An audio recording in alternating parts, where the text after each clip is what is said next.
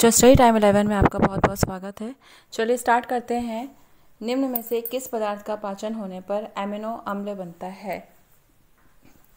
Option A starch B वसा सी खनिज, या फिर डी प्रोटीन बच्चों, इसका सही आंसर होगा। ऑप्शन नंबर डी प्रोटीन चलिए आगे बढ़ते हैं। दूध में मिलने वाला केसीन है।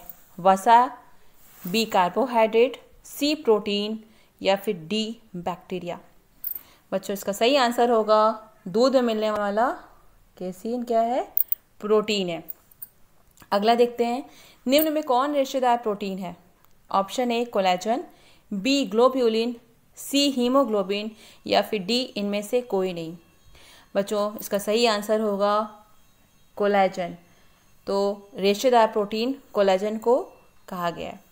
वह प्रोटीन जो कार्बोहाइड्रेट को जोड़ती है, A lecithoprotein, B glycoprotein, C lipoprotein या फिर डी धात्वी प्रोटीन बच्चों, इसका सही आंसर होगा सी लिपोप्रोटीन। आगे बढ़ते हैं। डीएनए द्विगुणन में उपयोग होने वाला एंजाइम है, A RNA polymerase, B DNA, endonuclease, C, exonuclease या फिर DNA, D option, DNA, polymerase.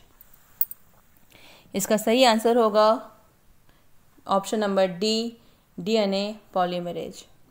चलिए, आगे बढ़ते हैं। डीएनए का द्विगुणन कहलाता है।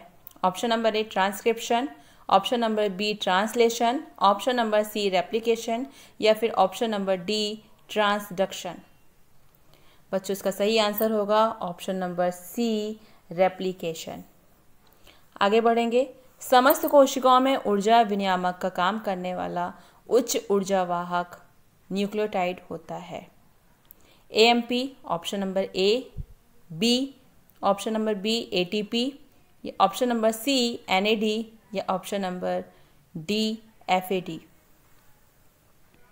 बच्चों, इसका सही आंसर होगा option number B A T जिसका फुल फॉर्म है एडिनोसिन ट्राईफॉस्फेट आगे देखते हैं, चक्रिक एडिनोसिन मोनोफॉस्फेट के अणु कहाँ पाए जाते हैं? ऑप्शन नंबर ए कोशिका कला में. ऑप्शन नंबर बी कोशिकाओं के साइटोसोल में. ऑप्शन नंबर सी कोशिका कला की बाहरी सतह पर. या ऑप्शन नंबर डी केंद्रक में. बच्चों, इसका सही आंसर होगा ऑप्शन नंबर बी कोशिकाओं के साइटोसोल में. चलिए, आगे बढ़ते हैं। एमिनो अम्लों प्रोटीन्स तथा यूरिया के अणुओं में उपस्थित नाइट्रोजनी क्रियात्मक समूह होता है। Option number A C H O option number B C O O H option number C C H three या option number D N H two इसका सही आंसर होगा option number D N H two N H two amino अम्ल का क्रियात्मक समूह होता है, ठीक? एमिनो अम्ल प्रोटीन्स और यूरा के अणु में उपस्थित नाइट्रोजनी क्रियात्मक समूह क्या होता है? NH2 आगे बढ़ते हैं। मोनोसेक्राइड के अणु बहुलीकरण के समय किस बंध के द्वारा एक दूसरे से जुड़ते हैं? Option number A glycosidic bond option number B ester bond option number C peptide bond या option number D phospho ester bond बच्चों, इसका सही आंसर होगा option number A glycosidic bond चलिए, आगे देखिए। वसी अम्लों के अणुओं में क्रियात्मक समूह होते हैं।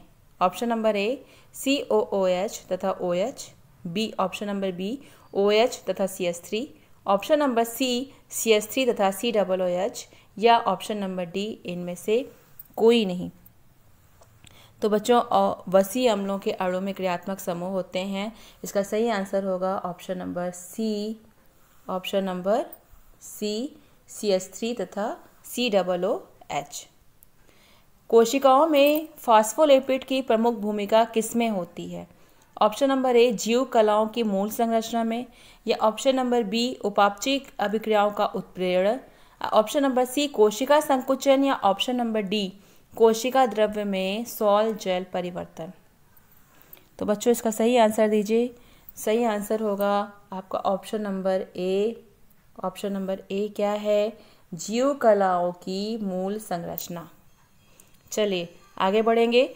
जैविक अणुओं में सबसे अधिक अलंकृत अणु किसका होता है? Option number A, triglyceride. Option number B, phospholipid. या ऑप्शन नंबर सी, कोलेस्ट्रॉल। या option number D vitamin D बच्चों, इसका सही आंसर होगा ऑप्शन नंबर सी कोलेस्ट्रॉल आगे देखिए प्रोटीन को यह नाम किसने दिया? Option number A Berzelius B option Mulder या फिर सी ऑप्शन ए और बी दोनों, या डी ऑप्शन इनमें से कोई नहीं. तो बच्चों वर्जी प्रोटीन का नाम दिया था वर्जीलियस ने भी वर्जीलियस ने भी दिया था, और किसने दिया था? मुल्डर ने भी दिया था। इसलिए सही आंसर हो जाएगा ऑप्शन नंबर सी, ए और बी दोनों। चलिए, आगे बढ़ेंगे।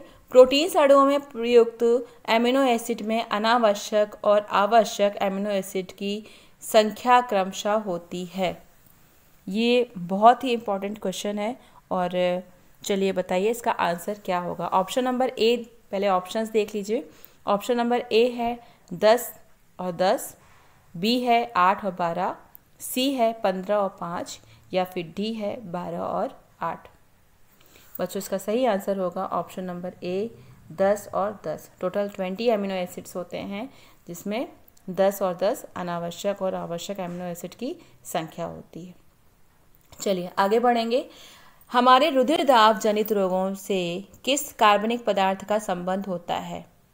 Option number A, taurocholic acid B cholesterol C prostaglandin या फिर डी हार्मोन नर हार्मोन्स इसका सही आंसर होगा।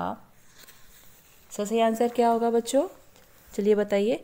इसका सही आंसर होगा कोलेस्ट्रॉल सही आंसर क्या है इसका? कोलेस्ट्रॉल ठीक? बी ऑप्शन सही आंसर है। चलिए। हीमोग्लोबिन, साइटोक्रोम्स तथा परहणिम के अणुओं की पोरफायरिन वलय की उत्पत्ति किसके अणुओं से होती है? Option number A, proline, B, valine, या फिर सी, टायरोसिन, या फिर डी, ग्लाइसिन। इसका सही आंसर होगा बच्चों, ऑप्शन नंबर डी, ग्लाइसिन। चलिए, क्वेश्चन आगे बढ़ते हैं हम। निम्न में कौन संतृप्त वसा अम्ल है? Option number A, oleic acid B linoleic acid C stearic acid या फिर डी लाइनोलिनिक एसिड बच्चों, इसका सही आंसर होगा option number D linolenic acid आगे बढ़ेंगे। विकर का प्रोटीन रहित भाग कहलाता है। Option number A metalloenzyme B isoenzyme C holoenzyme या फिर डी प्रोस्थेटिक ग्रुप विकर का प्रोटीन रहित भाग कहलाता है। इसका सही आंसर होगा option number D prosthetic group enzyme कार्य करते हैं। ऑप्शन नंबर ए, सक्रिय ऊर्जा को कम करके। बी ऑप्शन है, सक्रिय ऊर्जा को बढ़ाकर। या ऑप्शन नंबर सी है, सक्रिय ऊर्जा को प्रभावित किए बिना अभिक्रिया काल को बढ़ाकर। या ऑप्शन नंबर डी, सक्रिय ऊर्जा को नियमित रखकर। एंजाइम कार्य करते हैं। इसका सही आंसर होगा ऑप्शन नंबर ए सक्रिय ऊर्जा को कम करके चलिए, आगे देखिए। श्रावण के समय यदि एंजाइम सक्रिय होंगे तो वे किसे नष्ट कर देंगे? ऑप्शन नंबर ए, कोशिका प्रोटीन को, या फिर बी, कोशिका डीएनए को, या फिर सी, कोशिका, कोशिकीय माइट्रोकॉन्डिया को, या फिर डी, कोशिका भित्ति तथा कला को। बच्चों, इसका सही आंसर होगा कोशिका प्रोटीन को, यानी कि ऑप्शन नंबर ए। अगला क्वेश्चन देखिए कोएंजाइम होता है। क्या होता है कोएंजाइम सदैव प्रोटीन होता है या कुछ परिस्थितियों में विटामिन होता है या फिर प्रोटीन रहित कार्बनिक यौगिक होता है या प्रायः एक धातु होता है? बच्चों, इसका सही आंसर होगा ऑप्शन नंबर बी कुछ परिस्थितियों में विटामिन होता है। चलिए, आगे बढ़ेंगे। एंजाइम किस ताप पर सर्वाधिक सक्रिय होते हैं? 20 डिग्री सेल्सियस ताप पर या फिर 20 से 35 डिग्री सेल्सियस के बीच के 25 20 टू 20 20 डिग्री सेल्सियस ताप पर या 20 टू 35 डिग्री सेल्सियस टेम्परेचर पर या फिर 10 डिग्री सेल्सियस पर या फिर 60 डिग्री सेल्सियस पर। एंजाइम किस ताप पर सर्वाधिक सक्रिय होते हैं? बच्चों, इसका सही आंसर होगा ऑप्शन नंबर बी, जो है, क्या है? ट्वेंटी से ट्वेंटी से थर्टी फाइव डिग्री सेल्सियस के बीच का जो भाग होता है, वो होता है। ठीक? Option number B. बीस से पैंतीस डिग्री सेल्सियस के बीच में एंजाइम्स जो होते हैं, वो सर्वाधिक सक्रिय होते हैं। तो सही आंसर होगा आपका बी ऑप्शन। बच्चों, ये तो थे आपके आज के क्वेश्चंस। फिर नए वीडियो के साथ और ढेर सारे क्वेश्चंस हम लेकर फिर से आपके सामने हाजिर होंगे। तब तक के लिए धन्यवाद. Thank you so much thank you class